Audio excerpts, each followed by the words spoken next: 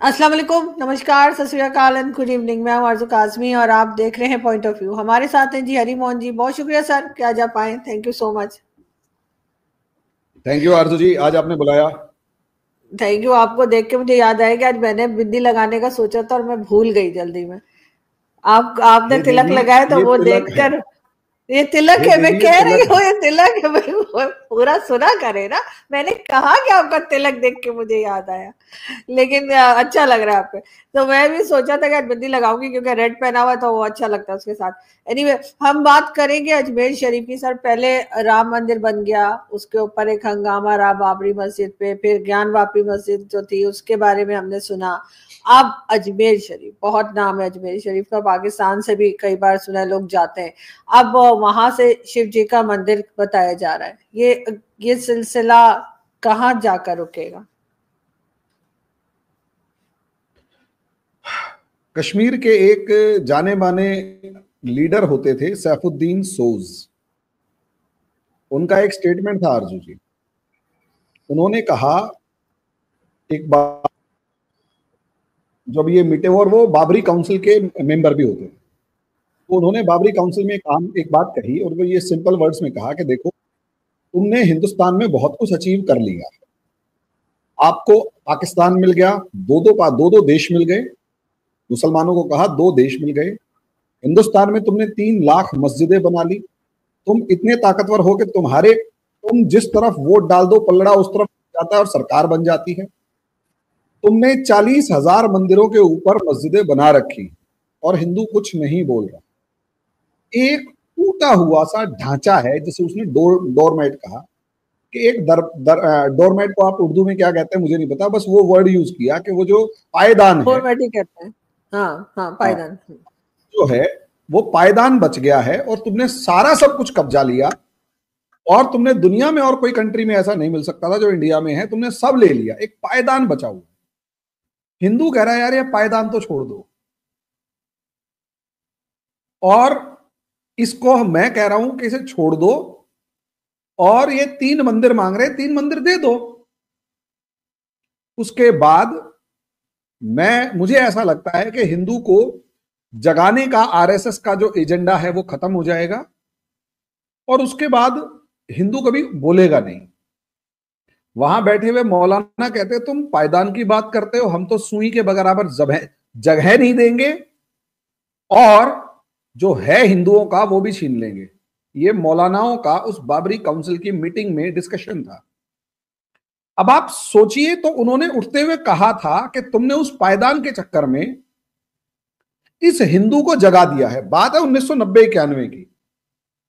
कि पायदान के चक्कर में तुमने इस हिंदू को जगा दिया है, अब ये तुमसे हर वो चीज़ छीनेगा जो तुमने एक हज़ार साल में या ग्यारह सौ साल में, बारह सौ साल में बनाई है और तुमसे ग्यारह सौ, बारह सौ साल का बदला लेगा और तुम कुछ नहीं कर पाओगे। ये सैफुद्दीन सोज साहब का जो एक लब्बो लुबाब उनका जो बातचीत का है, वो मैंने आपको बताया। जो तीस पैंतीस साल पहले बात की थी, वो आज यहाँ पर आपको दिखाई दे रही है। लोग इसे मानने को तैयार नहीं है, लेकिन मैं कहता हूँ, असलियत में मामला यही है कि हमने सिर्फ़ तीन मंदिर मांगे थे। तीन मंदिर। अयोध्या, काशी, मथुरा। हिंद, विश्व हिंदू परिषद कहती है, चालीस हज़ार मंदिर हैं, जिनके ऊपर आपने मस्जिदें बना रखी हैं, वो ऑन रिकॉर्ड हैं। सिर्फ़ तीन मंदिर दे दो उसके बाद हम कभी कुछ नहीं मांगेंगे आपसे। और मुझे याद है, मैं बरेली के अंदर एक क्लास ले रहा था आरज़ू जी, उसमें एक स्टूडेंट, जियाउद्दीन नाम का लड़का था। और वो, ये बात 2019 की ही है, जब ये फैसला आया था। उस टाइम पर मैं वहाँ क्लास लेने गया हुआ था तो वहाँ स्टूडेंट्स ने मेरे से पूछा, अब ये नया नया डिसीज़न आया था, मुस्लिम स्टूडेंट्स भी थे, हिंदू भी थे तो उसमें एक बहुत तरी, एक लड़के ने, बच्चों ने मेरे से पूछा था इसका सॉल्यूशन क्या है? मैंने कहा, देखो यार जब लड़ाई हो रही होती है ना तो कोई सोल्यूशन नहीं होता। कहीं ना कहीं अगर बहुत कुछ है तो एक आधा कुछ देने में कोई बुराई नहीं है। अयोध्या काशी मथुरा हिंदू समाज में हिंदूज हिंदूज में वही स्टेटस रखते हैं जैसा काशी मतलब मक्का मदीना या काबा आपके लिए रखते हैं।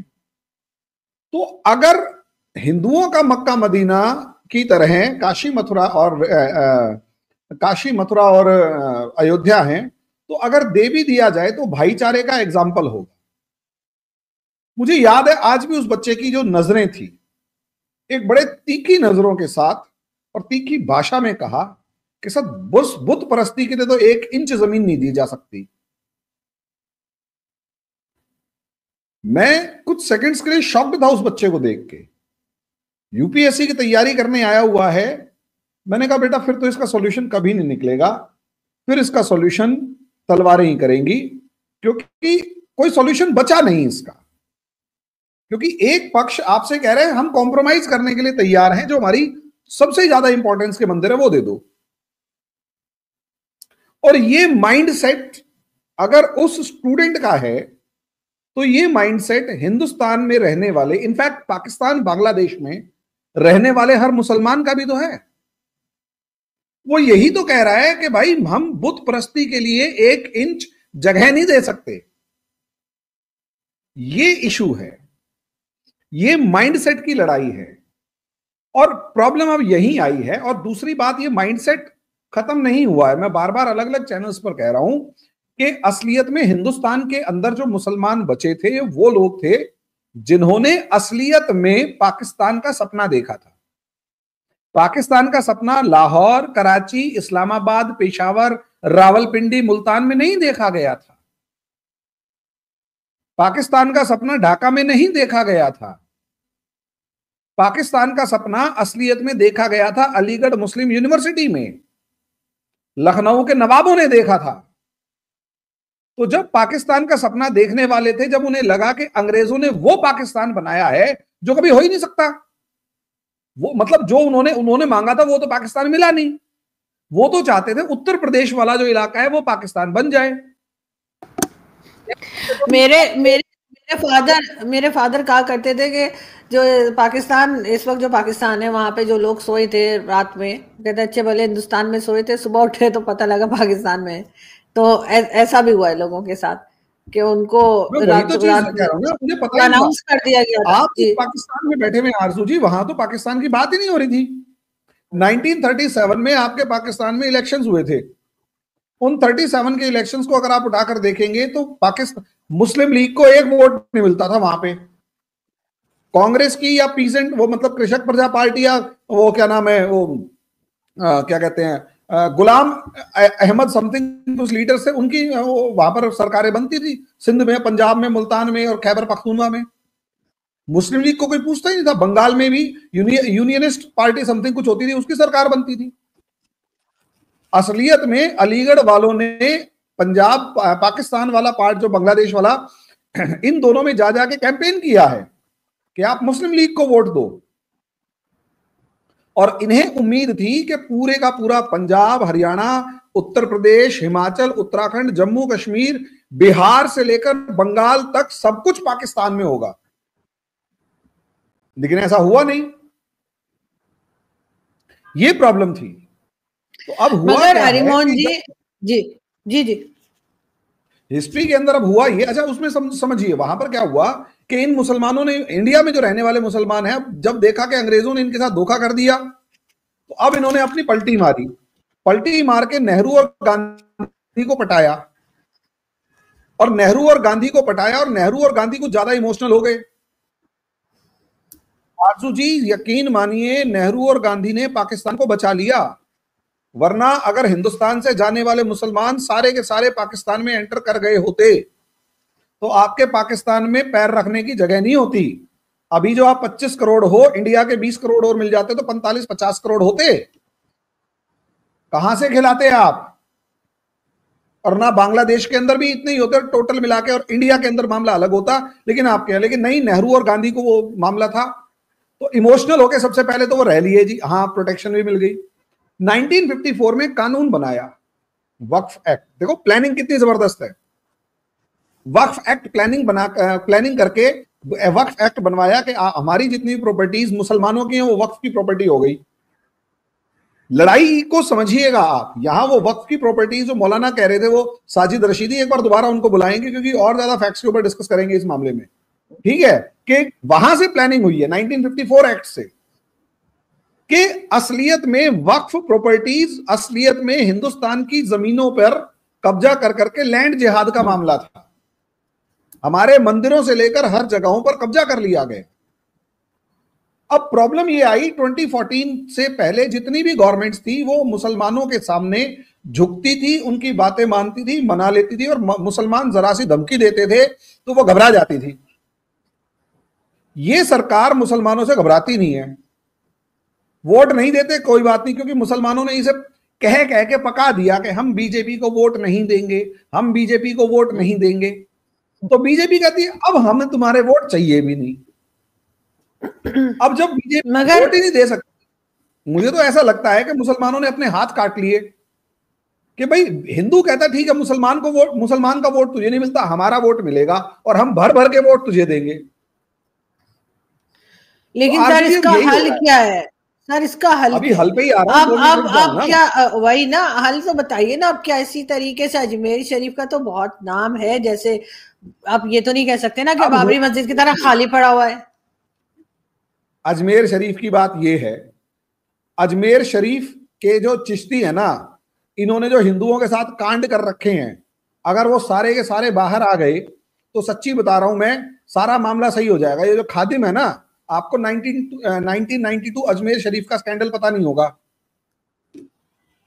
नहीं तो सुनो अजमेर के जो चिश्ती थे इन चिश्तियों में से खादिम जो थे हम्म। इन खादिमों का पॉलिटिकल डोमिनेंस बहुत ज़बरदस्त था इनके लड़कों ने अच्छे घरों की जो अमीर घरों की हिंदू लड़कियाँ थी बड़े बड़े स्कूलों में पढ़ने वाली उन लड़कियों को फसाया उनको ड्रग्स वगैरह देके या नशे का वो करके उनकी फोटोग्राफ्स खींची बिना कपड़ों के और उन्हें ब्लैकमेल किया और उसको ये कहा कि कल अपनी भाभी को लेके आइयो और ऐसे ऐसे करके एक के साथ दूसरी दूसरी के साथ तीसरी एक हज़ार हिंदू लेडीज़ जो एलीट क्लास की थी, जिनके बाप या भाई या घरों के अंदर बड़े बड़े ऑफिसर्स थे, उन घरों की लड़कियों की बिना कपड़ों की फोटोग्राफ्स खींच के ब्लैकमेल कर करके उनको उनकी फोटोग्राफ्स जो थी, फ़ोटो जो फोटोशॉप्स होती थी, उनके पास बेचनी शुरू कर दी थी।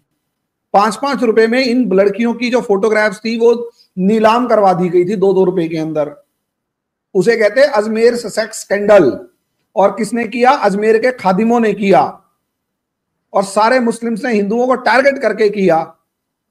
और 26 साल तक उसके कल्प्रिट को छुपाए रखा अजमेर के खादिमों ने, जो मेन किंग पिन था, कल्प, कल्प्रिट था। और कौन सी क्लास की? नाइन्थ क्लास की बच्चियों के साथ।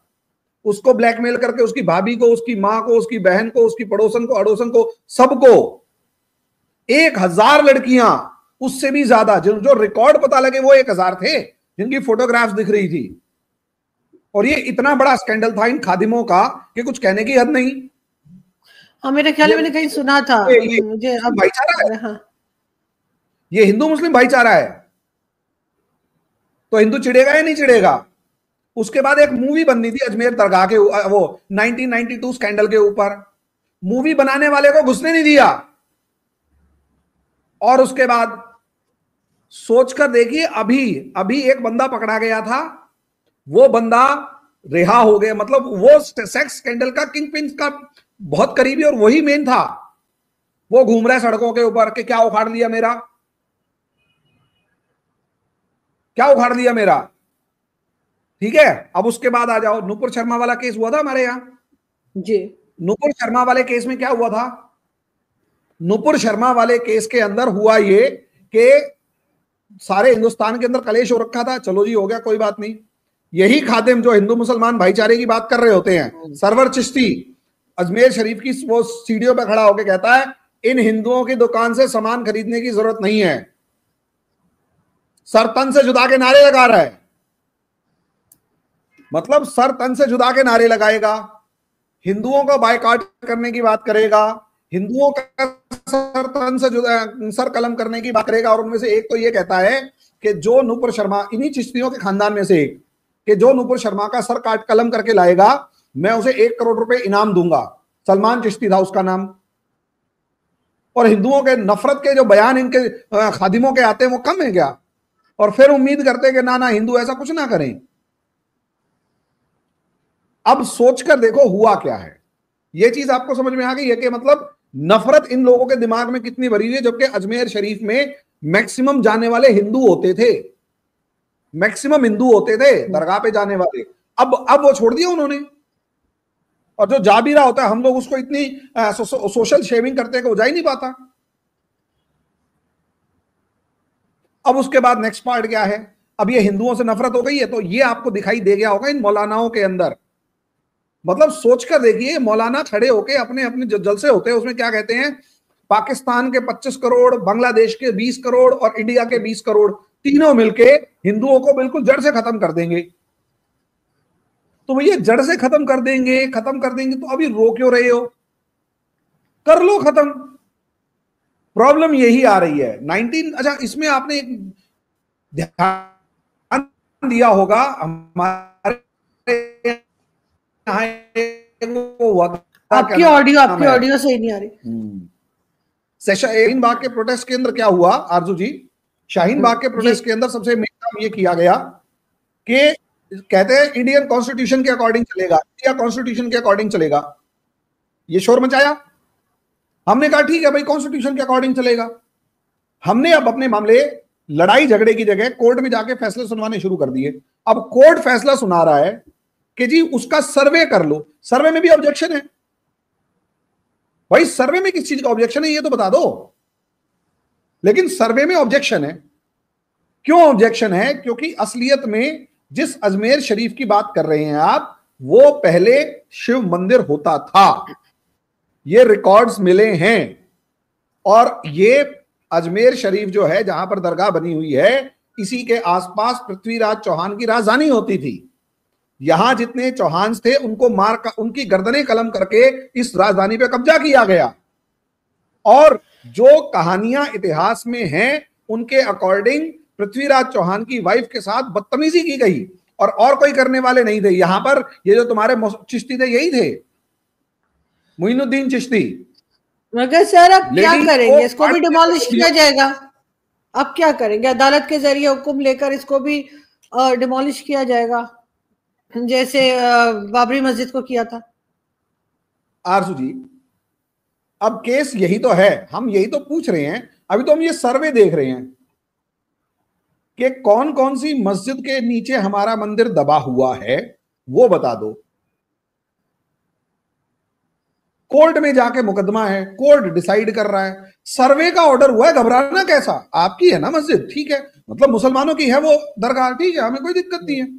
सर्वे के सिर्फ़ ये पता कर रहे हैं कि कहीं इसके नीचे कोई मंदिर तो नहीं था। इतने में डर गए। हमें तो मगर सर लोग मगर सर लोग ये भी कह रहे हैं। सर बहुत से लोग ये भी कहते हैं। से काम कर रहा होता सारा मामला। ये सारे हिंदुओं को नफरत की नज़र से ना देख रहे होते काफिर और वाजिबुल कत्ल ना कर रहे होते तो एक पंगा था ही नहीं। ऐसे तो नहीं चलेगा। सर बहुत से लोग ये कह रहे हैं। नहीं नहीं आरज़ू जी ऐसे नहीं चलेगा दो तो यही है ना। दोगलापन ये है। एक सर कह रहे हैं हाँ। सर बहुत से लोग ये भी कह रहे हैं कि हिंदुस्तान जो है वो पाकिस्तान के नक्शे कदम पे चल रहा है और अब हिंदुस्तान वही कर रहा है जो पहले पाकिस्तान करता रहा है अपने माइनॉरिटी के साथ। तो पाकिस्तान को तो खुश होना चाहिए हम भी आपके जैसे बन रहे हैं। नहीं हम खुश नहीं। क्या आप हमारे जैसे मत बने। हमने गलत किया। नहीं नहीं नहीं नहीं क्या पाकिस्तान की तरफ़ से एक बार भी बांग्लादेश के अंदर मरने वाले हिंदुओं के बारे में कुछ आवाज़ उठी?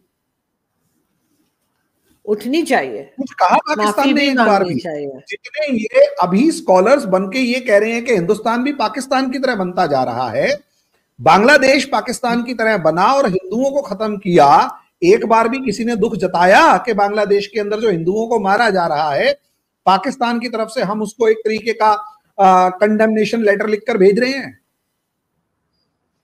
ये मामला सारा मुसलमानों के मामले में क्यों आता है? मुझे क्यों नहीं आता?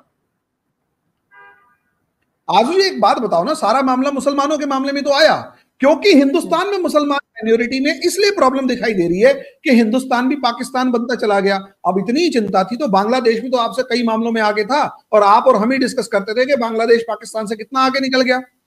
बिल्कुल। वही बांग्लादेश जो है वो हिंदुओं को ढूंढ ढूंढ के कत्ल कर रहे हैं और जो वो कर रहे हैं एक बार एक पाकिस्तानी चैनल मुझे बता दीजिए जो ये कह रहा हो कि बांग्लादेश भी पाकिस्तान बनता जा रहा है। क्योंकि वहाँ कंफर्टेबल इसलिए है क्योंकि वहाँ हिंदू मर रहा है। मैंने तो कहा था सर कोई किसी और ने कहा हो ना कहा हो मैंने तो बात की थी। आप आपने अभी जैसे कहा कि मतलब मैं आपको नहीं पॉइंट आउट कर रहा मैं पाकिस्तान की तरफ़ से जितने भी स्कॉलर इस टाइम कर कह रहे हैं कि हिंदुस्तान में पाकिस्तान बनता जा रहा है मैं उसके बारे में कह रहा हूँ हम्म। कि अल्टीमेटली बांग्लादेश के मामले में किसी एक ने नहीं कहा क्योंकि वहाँ हिंदू मर रहा है हिंदुस्तान में तो कोई मुसलमान मर भी नहीं रहा बल्कि सर तन से जुदा के नारे तो मुसलमान लगा रहे हैं मुझे ये बताइए मतलब आप सोच कर देखिए, आरज़ू जी, जयपुर के अंदर मंदिर की जो आगे एक छतरी से बनी हुई थी, उसके ऊपर हरी पट्टी लपेट के कहते हैं, ये मजार है। और हम लड़ेंगे, अगर तुमने उतार दी तो हम तो ये मजार मानेंगे। ये बदमाशी हम झेलते रहे कब तक? कोई एक तरीका बताओ। ये वक्फ बोर्ड के ऊपर, आधे कलकत्ते के ऊपर दावा ठोक दें। ये वक्फ बोर्ड के नाम पे हमारी पार्लियामेंट से लेकर आधी दिल्ली पे दावा ठोक दें। हमारे मंदिरों पे दावा ठोक दें। तब ठीक है। ये माइनॉरिटी का बिहेवियर होता है। भाई मेरे ठोका तो क्या वो माइनॉरिटी का बिहेवियर है? अच्छा उसके बाद मैं पूछ लू कि भाई कागज़ दिखा दे उसके कि कागज़ नहीं दिखाऊँगा मैंने कह दिया तो मान ले वरना लड़ाई हो जाएगी। आरज़ू जी बहत्तर साल से हम इसी डर में थे कि यार लड़ाई रहन दो रहन दो। अब हमारे हिंदू कह रहे हैं भाई लड़ लो। लड़ लो। नहीं सर इसका कोई पीसफुली कोई इसका हल होना चाहिए। लड़ लो जो है वो फिर वो लड़ाई कहीं नहीं रुकेगी। सारे जितने मौलाना बैठे हुए हैं ना मौलाना जितने बैठे हुए आरज़ू जी उसका पीसफुल सॉल्यूशन मैं बता देता हूँ। मौलाना जितने बैठे हुए हैं ये आज कह दें कि आपके वो जो तीन आराध्य हैं उनकी जमीनें छोड़ने को तैयार हैं और वक्फ बोर्ड कोई नई ज़मीन क्लेम नहीं करेगा। और जो कागज़ वाली ज़मीन है सिर्फ़ वो मानेंगे वरना नहीं मानेंगे।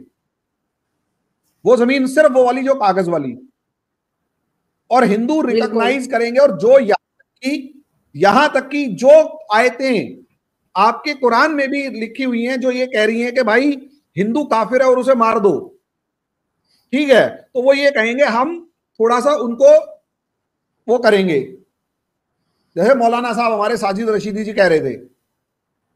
या फिर यूँ कहें कि हिंदुओं के साथ प्यार वाला व्यवहार करेंगे हमारे ऊपर एहसान नहीं जताएँगे। होना चाहिए।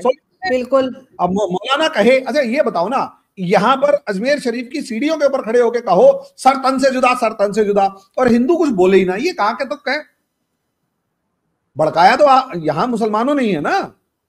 आप आरज़ू जी समझ नहीं सकते एक हिंदू का दर्द। मुझे पता है ना। नहीं नहीं मैं मैं समझ सकती हूँ मुझे आपकी बातचीत करने के अंदाज से लग रहा है बिल्कुल। जिस टाइम पर आरज़ू जी कन्हैया लाल तेली की गर्दन वीडियो बनाते हुए काटी गई ना स्पाइन चिलिंग इफ़ेक्ट ये था मेरे ऊपर और मेरे जैसे हज़ारों लोगों, लाखों, करोड़ों हिंदुओं के ऊपर ये था, भाई दूर रहो। दूर रहो। और मैंने अपने पास से जितने मुसलमान थे सबको भगा दिया था। एक एक करके दो महीने के अंदर अंदर अच्छा बेटा बाद में देखेंगे, काम कम है। जाओ नमस्ते। और ये मेरा मेरा नहीं, उसके बाद न जाने कितनों से ऐसे मिला हूँ। कि यार कब कौन मेरी एक पोस्ट के ऊपर बुरा मान के मेरी गर्दन काट जाए। और प्रॉब्लम ये है कि उसको सपोर्ट करने वाले आज भी हज़ारों हैं। जस्टिफाई कर रहे हैं। हाँ जी बिल्कुल नहीं आई फील कि ऐसा नहीं होना ऐसा बिल्कुल भी नहीं होना चाहिए था और सुनो तो सही अभी तक जो चल हम्म। रहा था ना वो कांग्रेस गवर्नमेंट में हम जैसों को दर्द बयान करने तक की परमिशन नहीं थी। अब नहीं चलेगा। अब अगर मेरी कोई गर्दन काटेगा या मुझे हिंदू की गर्दन कटती हुई दिखाई देगी। अच्छा एक बात कहूँ अर्जु जी, बांग्लादेश के अंदर इतने हिंदू मारे जा रहे हैं, हमारे यहाँ पर एक मुसलमान ने, एक मौलाना ने खड़े होकर यह कहा हो कि बांग्लादेश में जो हो रहा है, गलत हो रहा है। जबकि पता है कैसी पोस्ट आ रही है? जब हिंदू कटता हुआ दिखता है ना, मज़ा आ जाता है। मेरठ का एक पढ़ा लिखा MBBS MD doctor MD doctor अगर ये कह रहा हूँ ना कि हिंदू कटता हुआ दिखता तो बड़ा फिर उससे बड़ा जाहिल कोई नहीं सर। अगर उसकी पढ़ाई लिखाई ने उसको ये सोच दी है तो मुझे अफसोस है उसके ऊपर। अगर एमडी लेवल का बंदा ये कह रहा हो तो इसका मतलब ये है जिसका काम हिंदुओं से चल रहा हो उसका मतलब यह है कि वो हमारा सगा नहीं है तो अनपढ़ जिसे एक मौलाना ने भड़का रखा है वो हमारा सगा कहाँ से हो जाएगा? और अगर रही बात देखो लड़ने की आरज़ू जी एक बात बताऊँ मैं। वही वाली बात है आपने इतना कोने में लगा दिया इतना कोने में लगा दिया कि Hindus are left with no choice आप वक्फ बोर्ड एक बात बताओ मेरी प्रॉपर्टी के ऊपर वक्फ वाले नोटिस कह के कह दे ये प्रॉपर्टी खाली करे वक्फ बोर्ड की है और हम कोर्ट भी ना जा सकते। ठीक है? नहीं, नहीं, और कोर्ट भी जा सकते ये कौन सा यानी सुपर मतलब सुपर कॉन्स्टिट्यूशन हो गया वक्फ बोर्ड तो। और उसके ऊपर जरा सा अगर डिस्कशन हो रहा है तो धमकी क्या दे रहे हैं दंगे भड़क जाएँगे। अब तो फिर सरकार भी कह रही भड़का के देख लो। नहीं पहले तो अंग्रेज़ भी थे। और जो ये कह रहा है कि पाकिस्तान ले जाएँगे भाई अब एक इंच लेके दिखा दो पाकिस्तान तो दूर की बात है। और अभी तो बांग्लादेश को नजारे करने का टाइम आ चुका है।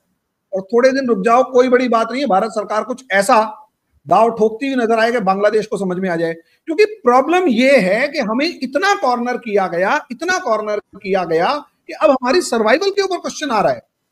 और उससे बड़ी प्रॉब्लम यह है कि बांग्लादेश के अंदर जिस तरीके से वो वीडियोज़ आ रही हैं, हिंदुओं को मरते हुए हम लोग देख रहे हैं, वो छुरियाँ, वो मतलब वो सब, वो छुरियाँ हमारे को हमारी गर्दन पर चलती हुई नज़र आ रही हैं।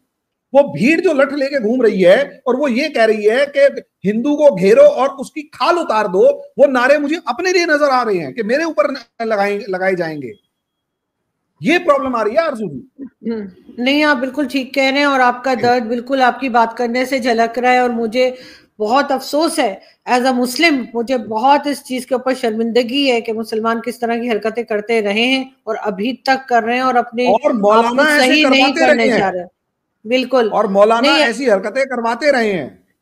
बिल्कुल आप सही कह रहे हैं और एज अ मुस्लिम मुझे यकीनन इन चीज़ों के ऊपर बहुत शर्मिंदगी है। हम इस पे बात करते रहेंगे आगे भी बहुत शुक्रिया कि आपने आज ज्वाइन किया।